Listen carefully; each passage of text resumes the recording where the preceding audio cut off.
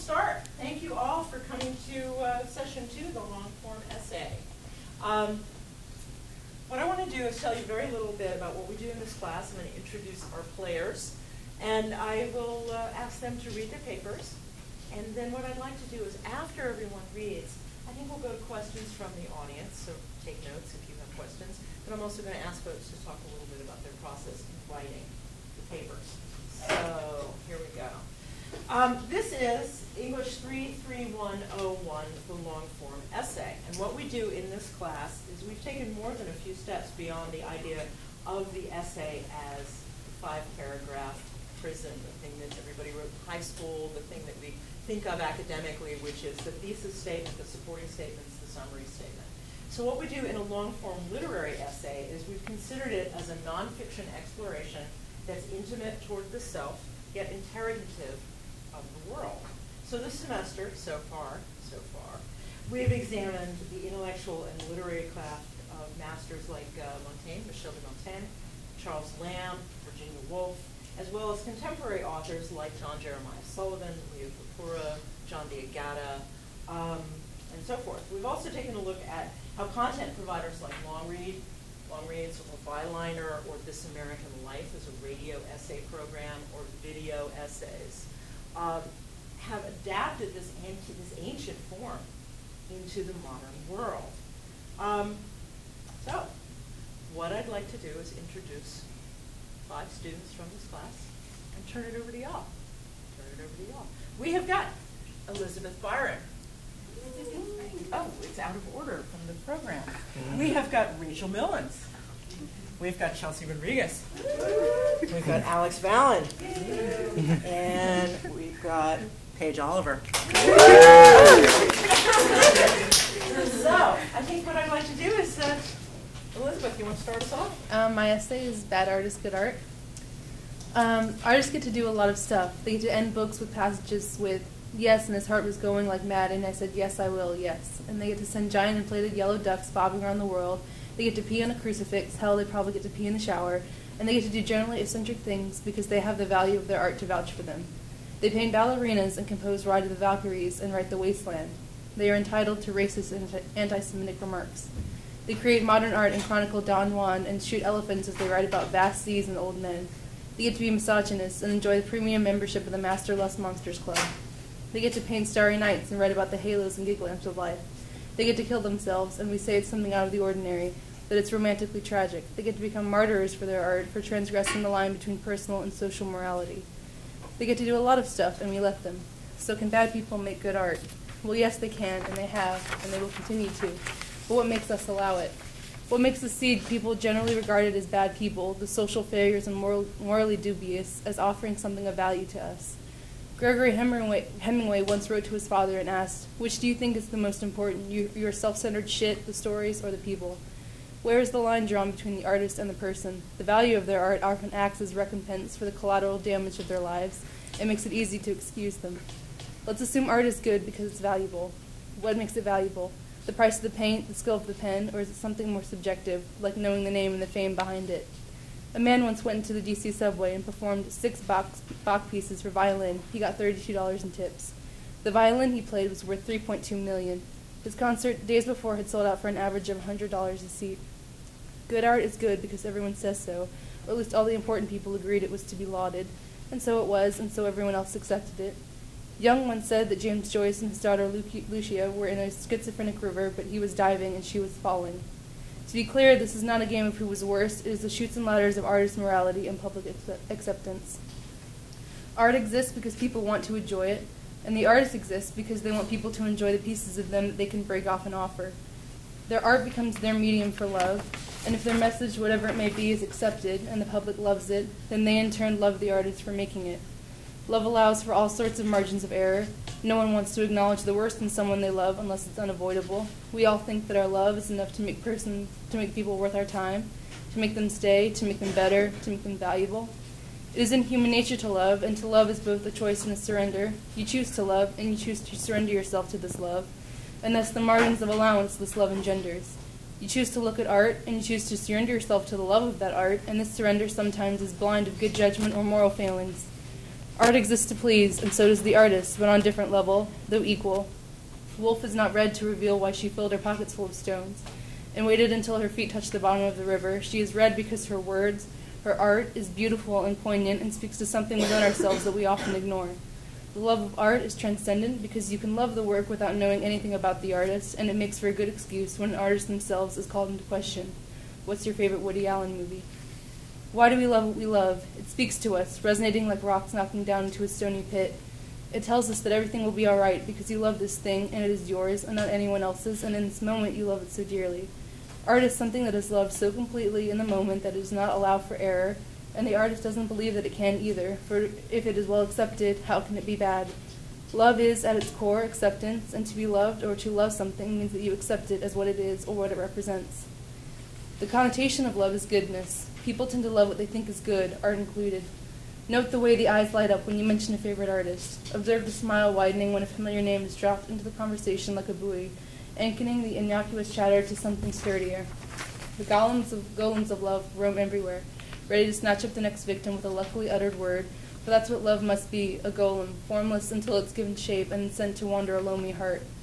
Everyone wants to be loved, and everything has someone to love, and everyone has someone to love. Art happens to be a vicious motivator of love, because it's viciously present and can be viciously appreciated. Back to the artists and their syllogisms. The art is good because it is loved. It is still good when the is it still good when the artists are no longer loved? Then again comes the separation between artist and art. Does love make us bypass their moral faults, or is it something else?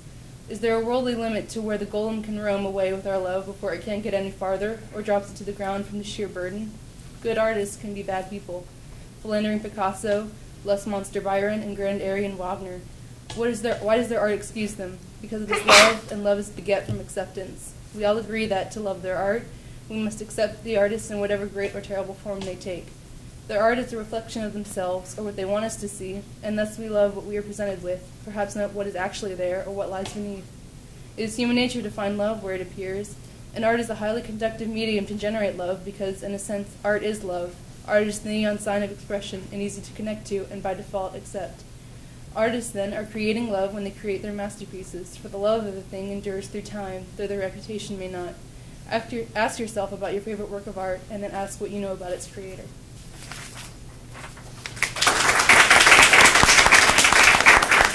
Thank you, Elizabeth. Rachel Millens. Okay, on human nature and society. 15 minutes before I leave for work, and now is when I decide to write my paper. I sit in my dorm alone, with music playing to drown, to drown any other sound. Why did I wait until the last minute to do my homework? Dorm life is okay. My neighbors are friends with each other, and my roommate is just someone I talk to when I'm trying to avoid my homework. Jealousy. Why do my neighbors get to be friends and I, awkwardly, and I get to awkwardly share a room with a stranger? It seems to be a habit among college students to procrastinate. My roommate and neighbors openly and quickly admit that, that 90% of their homework is done the night before it's due. At least we have that in common. I still feel like an outsider on campus. To that, to think that, as habitually procrastinating college students, I could use this commonality to make friends quickly and easily. I should be able to walk down to the student center and yell, my homework is due in less than 24 hours and I haven't even started it yet. Who else is in the same boat? Ta-da, friends. Life is never that simple. People, people are picky. I'm picky.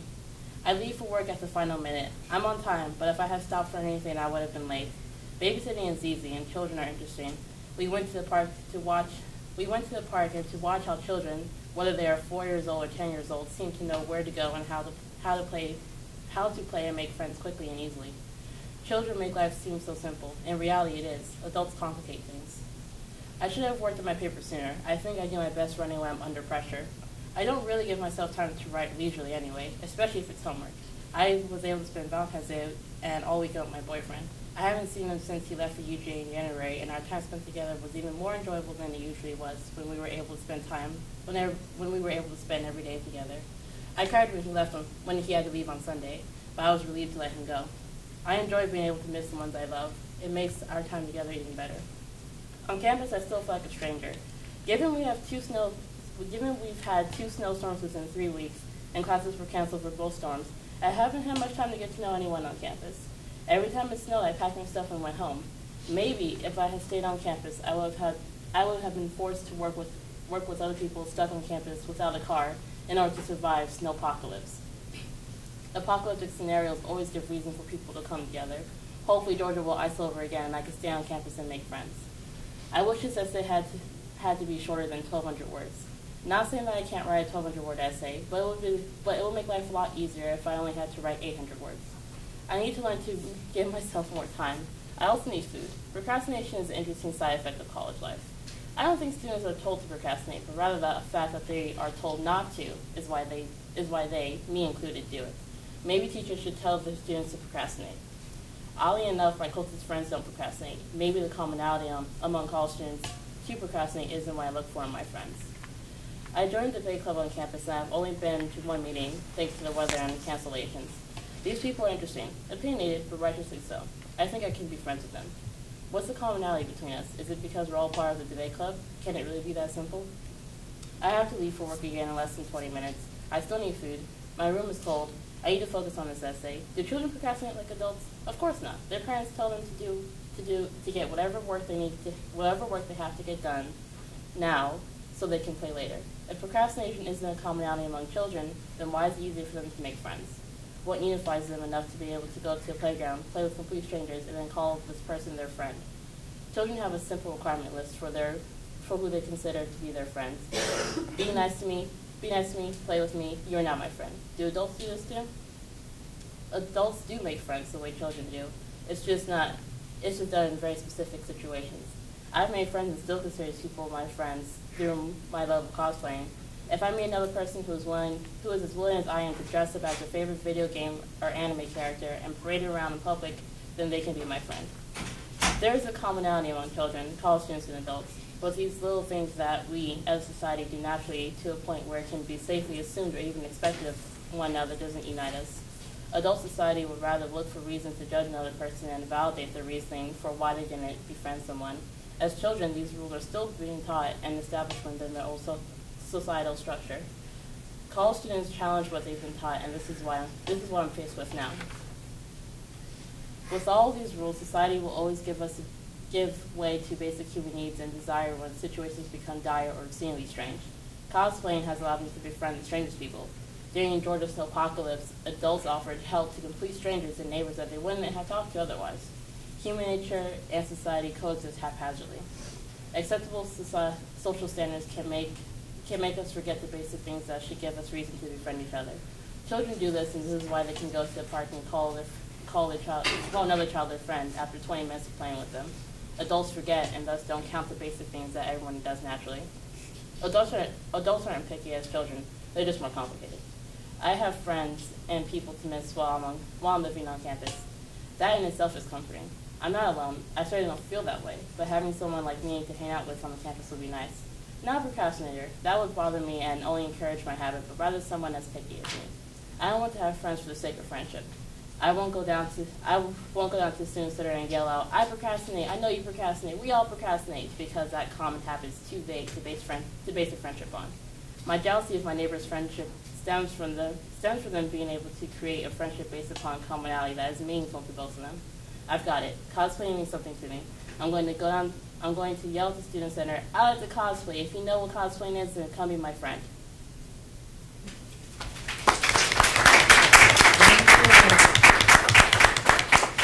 Our next player, Chelsea Rodriguez. All right.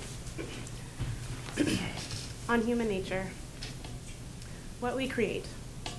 On my 20th birthday, my friends and I went to the High Museum of Art. We had gotten the college student discount to see the Andy Warhol exhibit. My best friend had made the event for me. He said most of the things that I couldn't say. The description read, Chelsea bought a new dress for this, so look like you belong with her. Um, the dress wasn't really that important. To be honest, I had bought a new dress every week for nearly two months. The moral of that little digression is that teenagers should never be trusted with any amount of money. anyway, I wanted to have a dress code because adults have parties with dress codes, and we were pretending to be adults, even though the youngest of us had just left being 18 behind. I remember appro- approaching the Lichtenstein house, which was set outside the high. I never really understood art, or at least paintings and sculptures. Yes, they were beautiful, and yes, it takes skill, but I've never, but I've never been moved by it. Uh, the Lichtenstein house is this giant optical illusion. Um, from far away, it looks like any other cartoon suburban home, but as you get closer, the fullness of it disappears. Nothing, um, nothing changes but your perspective. If only all visual art had the same impact that, as that optical illusion, because that house blew my mind. Uh, we asked someone to take our photo in front of the house so we could put it on the internet. Then everyone could see that I had a much more cultural day than them. We were creating ourselves, what we protect.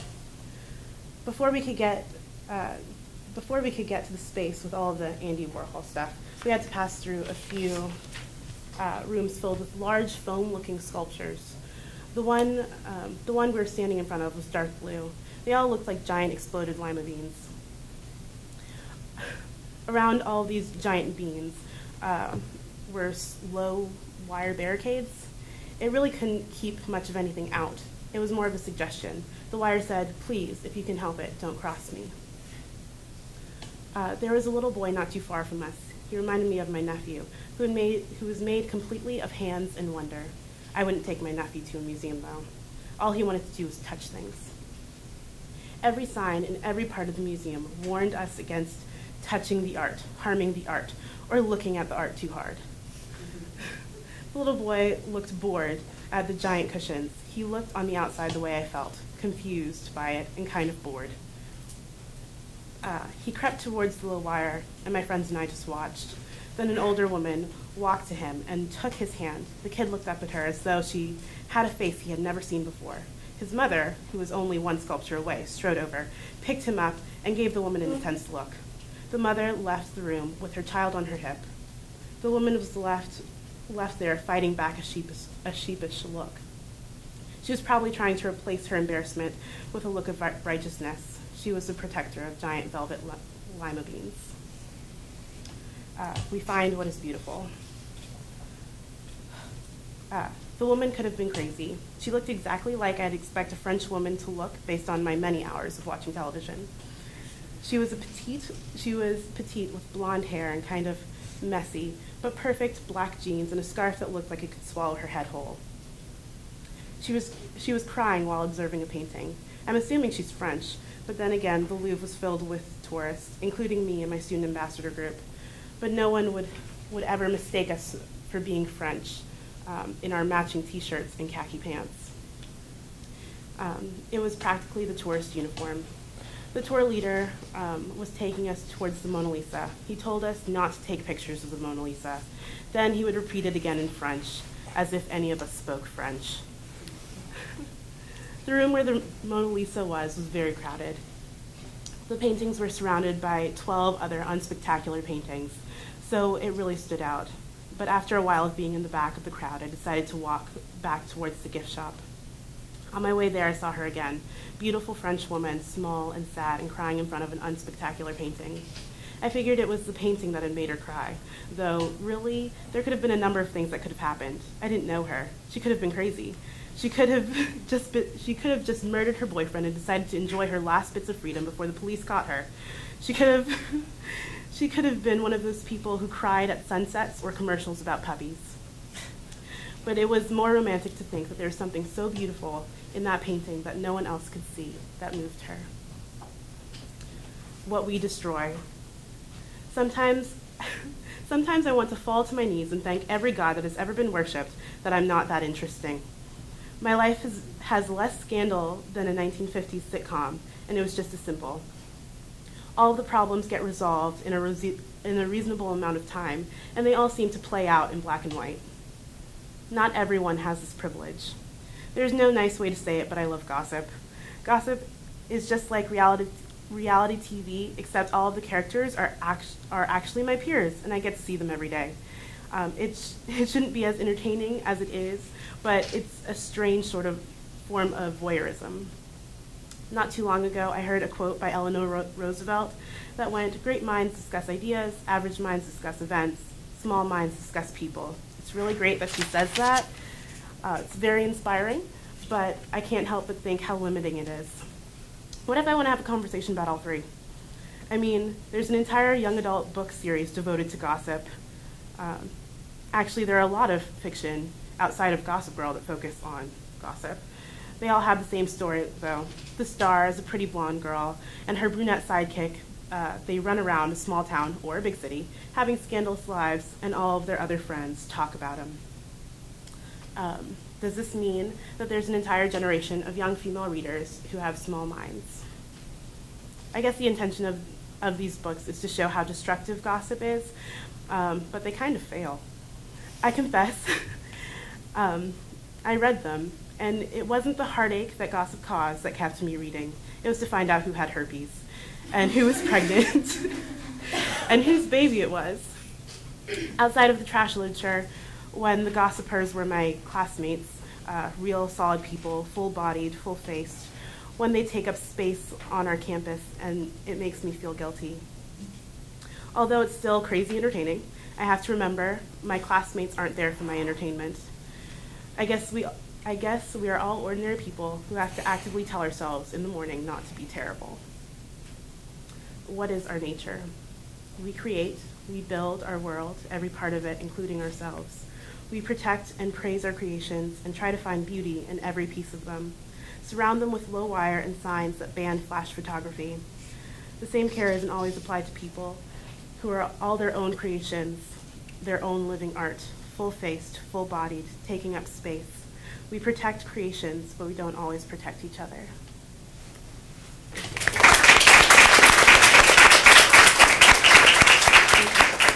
Thank you. Next up, Alex Allen. Transgenre Dysphoria Blues. I'm listening to an album about a transsexual prostitute written by a trans woman. No matter how out of sorts I feel about my body, about my mind, I will most likely never have the experience of looking in the mirror and seeing something totally incongruous with my conception of myself. When I look in the mirror, I see my mother's son, and that will never trouble me. I do not wish to be my mother's daughter. That feeling of being out of sorts is not alien, however. I know it is being out of sorts with other people, with other people's conceptions of me versus my conception of myself. The music helps. It tells me that I'm not alone. Laura Jane Grace helped show me how much worse it could be. I sympathize with her pain. In hearing of her pain, I desperately want her life to get better, and in sharing that sympathy, my own life gets better. Sometimes I think I can see all of humanity in music. I see our kindness and our anger, our hatred and our love. It comes in strange, twisting notes and contrasting chords, but it comes nonetheless.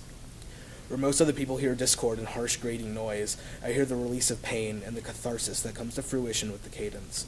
I feel it rise in my gut, that thrash unreal that shows me a life I have nothing in common with and yet feel completely connected to. And when I feel like I and when I feel like I do now, that connection is what I need. The stress of school mixed with the nausea that comes with occasionally forgetting to take my medication, mixed with the lack of a job which leads me to think of the lack of direction in my life. I'm drawn to feel the lows of life, and I go to music to bring me the highs.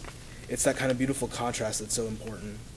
I think I'm drawn towards contrast in music. In AP Music Theory in high school, when I still thought I wanted to major in music, make it my career, we learned that contrast is good. When the treble hand moves up, the bass hand moves down. Go in, go in opposing directions. It sounds weird when I explain it, but it sounds right when I play it. I think it helps to keep this idea of contrast in mind when listening to heavy, aggressive music. When the vocals on Deafheaven's Sunbather grate against my ears in the prototypical way that black metal vocals do, I listen to the guitars behind it. The guitar flows, the octave chords giving a sense of melancholy, a lust to drag my emotion out to blend and complement the lyrics. George Clarke screams, I gaze into reflective eyes, I cried against the ocean of light. I understand. I haven't been in that place before, but now I have. By oneself, the experience of life can be so limited. My experience of life is limited by living in Georgia instead of New York, America instead of Asia, being white instead of black. I can covet and collect a myriad of experiences. I study abroad in Oxford. I volunteer at vegetarian cafes. I become the editor of a college literary magazine. I desperately try to get a job at a record store. I do things that other people don't. Perhaps I will eventually do things, create works of art, which no one else but me could create. Ultimately, no matter my experience, my version of human nature is wholly my own. Since I wasn't born in Florida, since I'm not transgender, since I'm not the individual Laura Jane Grace, I cannot inherently know or experience human nature the way Laura Jane Grace does. The same goes for George Clarke. The same goes for everybody. I don't think that music can give me the experience of being someone else, but in the way of literature and film, music has the power to power to transport me to another state of mind. In many cases, the state of mind is utterly alien to my own. I can become ethereal, listen to instrumental bands like Explosions in the Sky and This Will Destroy You, these these artists do something I never could: create pure emotion, sensation with only music. The only words I receive from the musicians come from song titles. I take the title, a throwaway phrase like "your hand in mine," and the rise and fall of chiming guitars and orchestral drums bring, brings me a story. The story is every love in my present and past. I see myself walking along frozen Atlanta streets in the dark of night. I feel myself lying in bed alone, a high school student aching for the, the love of a dream.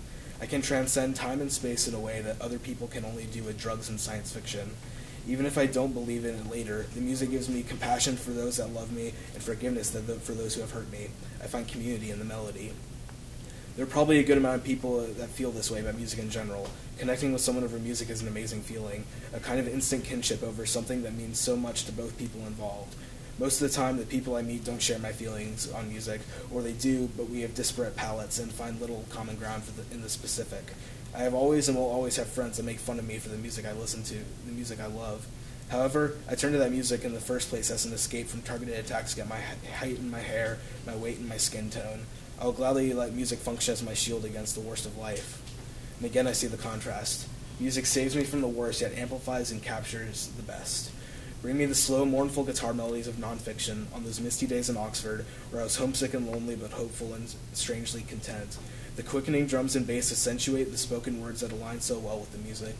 These words that capture how I feel about life and death. We're all going, but this is not a bad thing.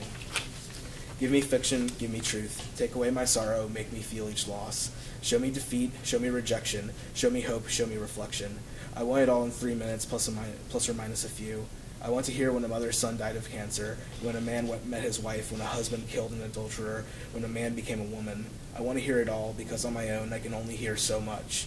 And the best thing about these songs, these albums, is that when I need it to be louder, because something about it demands to be heard or to be felt, I can make it louder. I've heard that it's some. I've heard that sometimes important moments in our life slow down. I haven't had that experience. They seem to go by so quickly. Maybe it's because I've always feel comfortable going at a minimum of 220 beats per minute.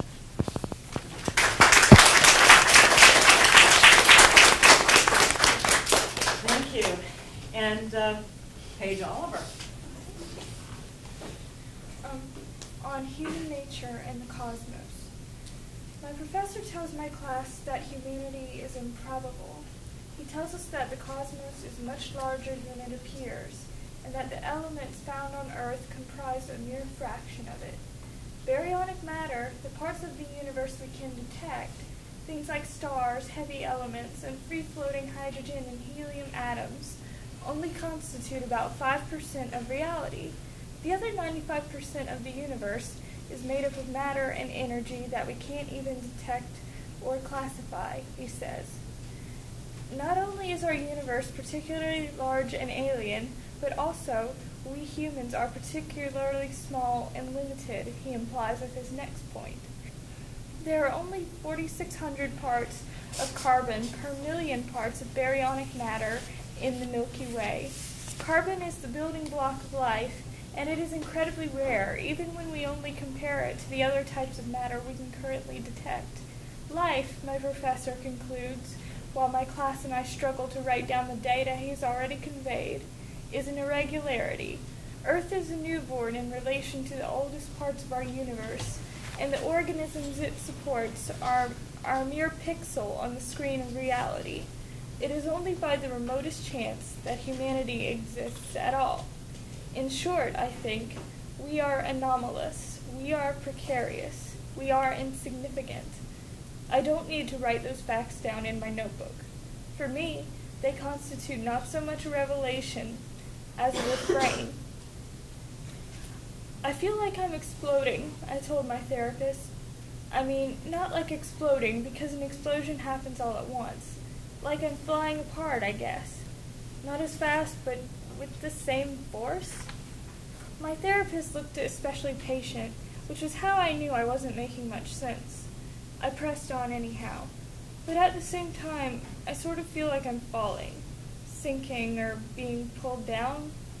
By anything specific? he asked just by myself, I guess. It's all internal. My therapist made a note on his tablet. I couldn't see why. We'd had this conversation dozens of times, maybe hundreds since I first started seeing him. The only thing that changed were the metaphors I used to describe the push-pull of my anxiety and depression. I would not find a perfect analogy to encapsulate the experience until I learned about the mechanics of stars. The energy a star puts off results from innumerable continual explosions occurring in its atoms. These explosions fight against the gravity holding the star together, emitting light and heat even as the star is pulled ever inward by its own mass and motion. All stars run out of fuel and die eventually, but if the star is massive enough, it gives one final great explosion before collapsing in on itself. A star gone supernova can take out entire planetary systems, and not even light can escape the black hole it leaves behind. My depression is like gravity. My innumerable anxieties are like nuclear explosions. Together, they create the thing around which the rest of my inner life orbits. I can no more understand where I would be without it than scientists understand the inner workings of a black hole. Still, its essentiality to my selfhood does not change the fact that it is a precarious axis on which I turn. Sooner or later, either an explosion will tear me apart or an implosion will drag me down. My professor tells my class that humanity is imprecise. He tells us that most of the cosmologists who made revolutionary discoveries about the universe did so accidentally or in spite of their own contrary dogmas. None of the so-called fathers of cosmological science actually followed the scientific method. Years of tradition had instilled certain beliefs in Western thought that kept scholars biased in spite of concrete evidence contradicting them. The idea that the planets revolved around the sun was first proposed as early as 270 BC, but no one took it seriously until over a thousand years later. And early scientists were messy. The math Nicholas Copernicus used to prove the Earth orbited the sun was actually incorrect. In short, I think, we are stubborn, we are haphazard, we are repetitive in our mistakes. I don't need to write that down either. You need to let go of these negative ideas about yourself, my therapist told me. I know I do. You've told me before. You've told me all of this before. And it's all just stupid words, and I can't. What's the point of even coming here if we're just saying the same things over and over? My dad keeps asking me whether I'm progressing, and I don't have any improvements to show him. Like, what have I actually learned? I wiped at my eyes, and with no small amount of irony or kindness, he answered, The point of me reiterating my advice is that one day it might possibly sink in. I snorted. It was an ugly sound. It said what I couldn't. That possibility seemed like a pretty feeble reason to keep going at this point. My phone tells me that I am probably too late. It's 4 a.m., and the best opportunity to view the meteor shower passed after 3. Yet having woken up this early despite forgetting to set my alarm, and knowing that I won't be able to go back to sleep, I go outside anyway. My house is a good distance from civilization, but the sky still seems too light for stargazing as I walk out to the field behind my house, dragging a plastic deck chair behind me. I have no idea which direction to face, and so, feeling defeated already, I simply angle my chair toward the most open swatch of sky. An entire semester learning about cosmology has left me with no better understanding of how ancient peoples could discern patterns in the heavens, could detect, could detect changes in them. From where I'm sitting, the stars all seem so random and remote, unknowable and innumerable. Then again, I feel that way about people, too. Minutes pass. The tips of my fingers go numb, and my neck begins to stiffen. The, sti- the sky gets steadily lighter. I feel stupid for bothering to come out here. But as I move to check the time on my phone, a strand of light arcs across the corner of my vision, brief but unmistakable. I jerk my head to look, but the meteor has already disintegrated. It was there, though, wasn't it? I won't see any more shooting stars this morning. A single meteor gone in a moment seems like the definition of anticlimax, but somehow I feel a little more at peace. Hey, I tell the part of the sky that held it, however briefly. I guess you relate too.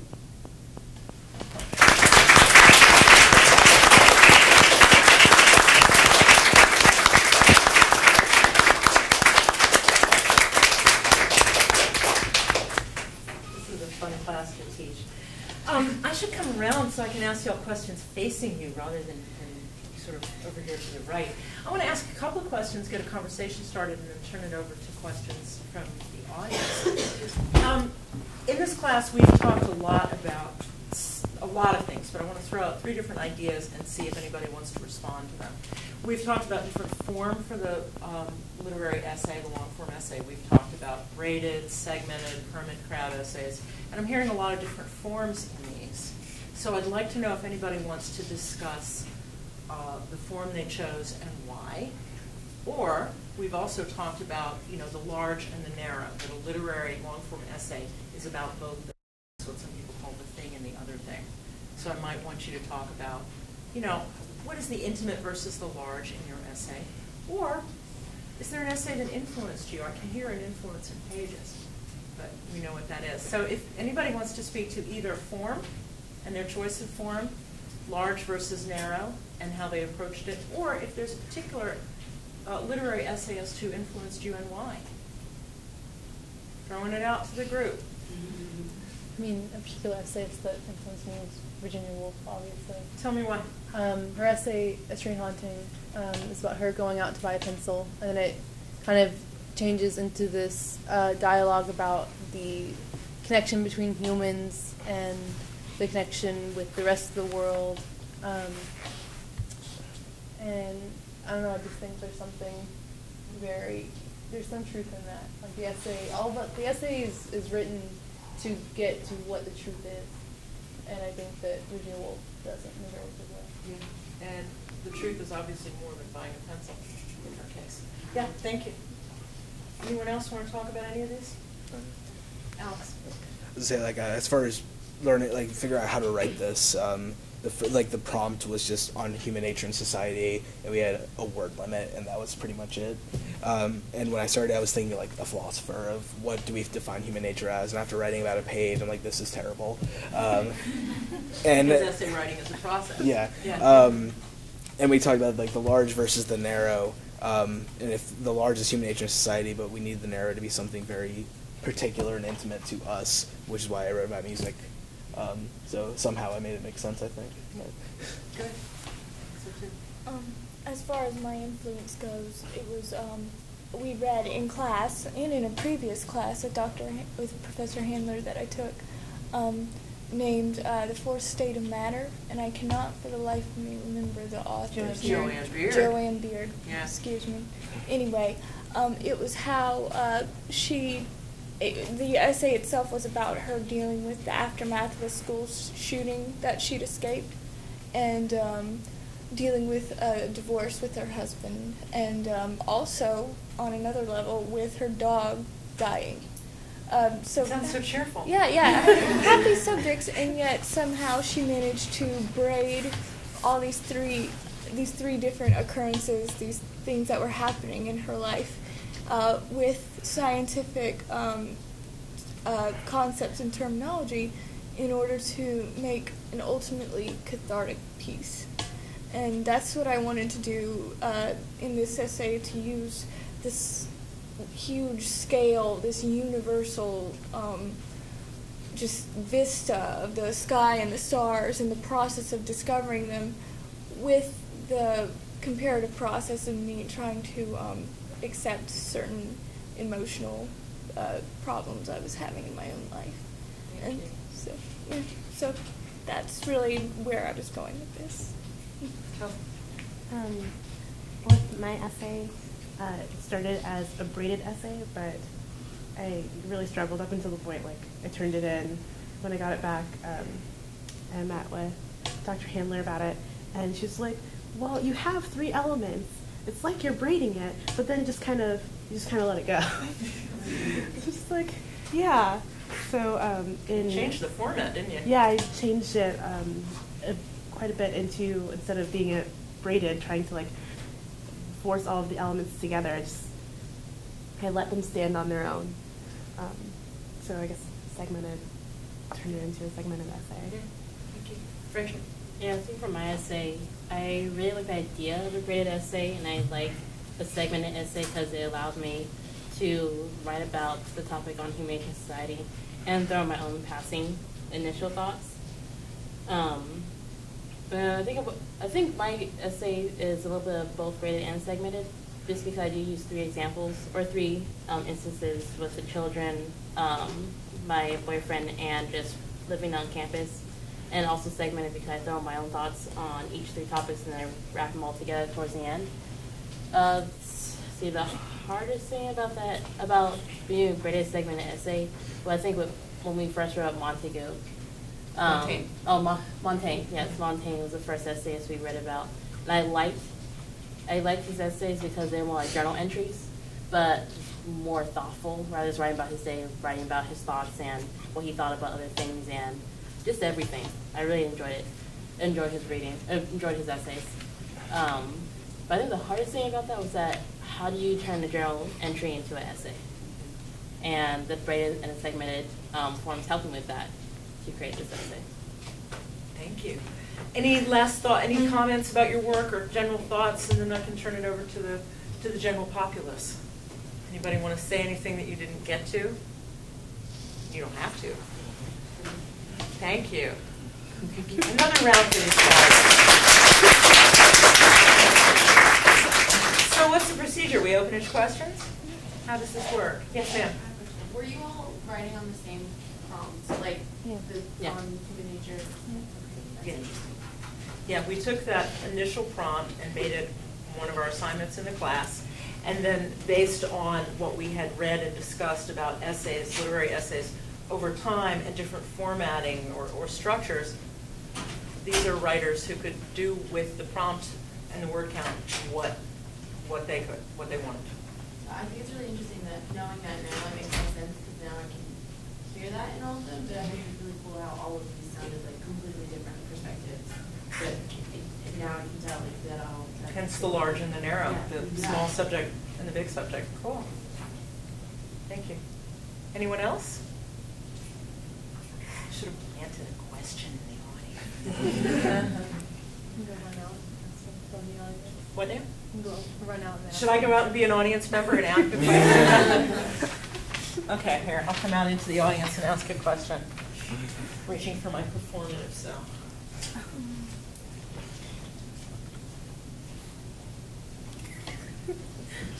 Yes. Thank you. Question? So each of you, what have you learned about, or what are your thoughts on the revision process in a literary essay? Is it something you just write, or is it something, Alex, I think was saying you started one and then decided that your work was terrible, and then you had to start over. So talk to us a little bit about the exploratory process in literary essay.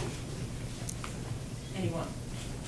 Um, the literary essay is essentially what truth is to you and what your opinion. It's basically your opinion on something, but you're also exploring the topic yourself. Like you were learning as you were writing about it, about what you were writing. And um, what was the question?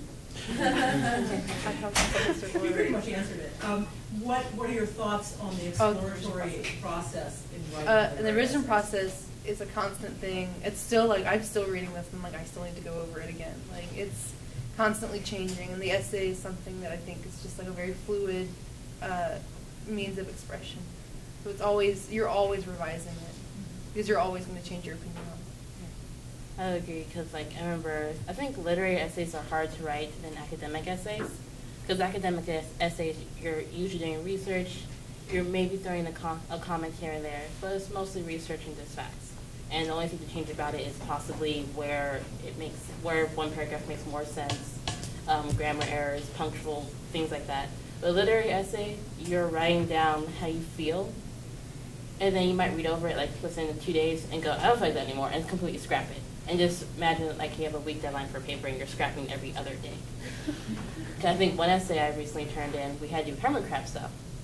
And, I don't think we know what a. can- can oh, a explain hermit crab is, The um, hardest essay. yeah, the hardest essay you will ever write. Essentially, is you're writing an essay in the form of something else. I think we had a few examples of an essay in the form of um, a Craigslist ad. I heard that in class. Another essay in the form of um, what was the one? Recipes. Recipes. Syllabus, Recipes and syllabi. yeah, syllabi. I didn't remember the syllabi. I was Job Suggested interview. Job, uh, job application. the job application. So just imagine you're trying to write an essay, in the form of something else, but you don't want to get too hung up on the form where it doesn't look like an essay anymore, it actually looks like a job application. So I remember that essay, I wrote one up in the form of the Ten Commandments, and I think when I got to the twelfth commandment, I was just like, okay, this is, this is not what I want to be anymore. And so I just took, I just ignored it for like four days. I was like, I'm never gonna touch it. And the day before it was due, I was like, oh my god, I have an idea, I'm gonna write it in Psalms. And so I wrote the whole thing in Psalms, and it was much better. But the essay was late, and I'm just like, but this is so much better. So I turned it in late anyway, and it just got kind of process where with literary essays, you may or may not have an idea or inspiration until the day of the deadline, or you might just be scrapping all week long until you figure out, oh, okay, this is actually how I feel. And I think I'm going to feel this way for about three days until I have to turn in. Um, uh, on rewriting, it's so difficult. I remember just walking around complaining, like, I don't even know what I'm talking about. What am I even talking about? What is. My roommates nod. and uh, at some point, you just, I think I just had to ask myself the question, well, what are you talking about? How does it relate to the prompt? Is this form working for you? Is, is this working for you? And I figured, like, once I started answering the questions, like, then it kind of came together at the end. Um, I guess uh, with with originally, like I said, like the first like thing I started writing turned out really terrible. It's because I.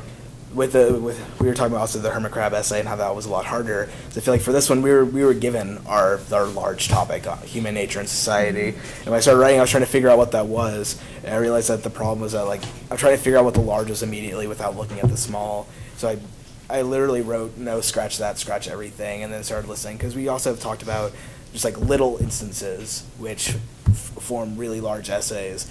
Uh, one of the essayists that uh, Professor Handler mentioned was John Jeremiah Sullivan, and he'll take really like throwaway lines that just really seem perfect and like bring out so much. For example, he had a line that says, uh, "Night had fallen and the Jews had sown discord."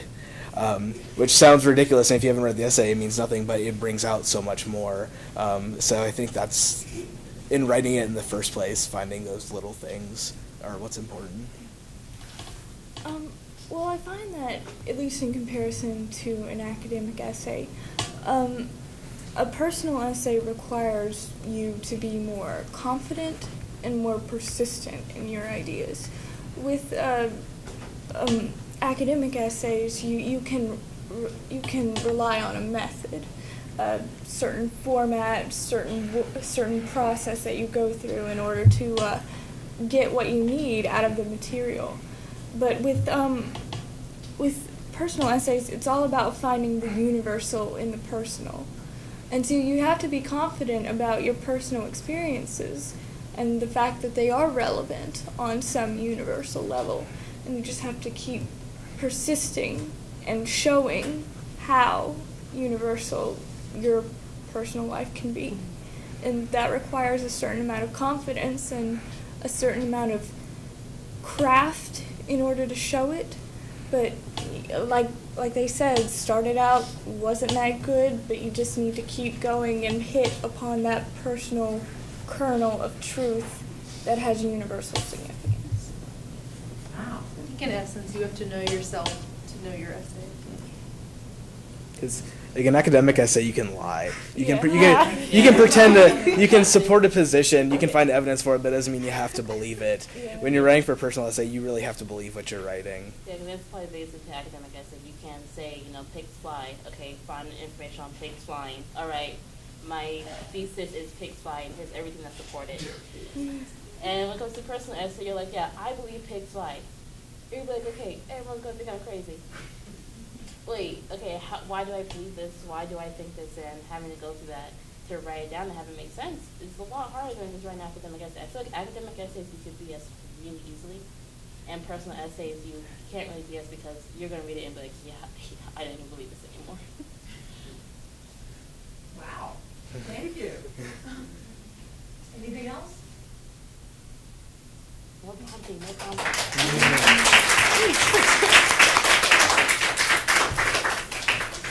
Well, thank you, long form essay students, English three thirty one oh one, spring twenty fourteen.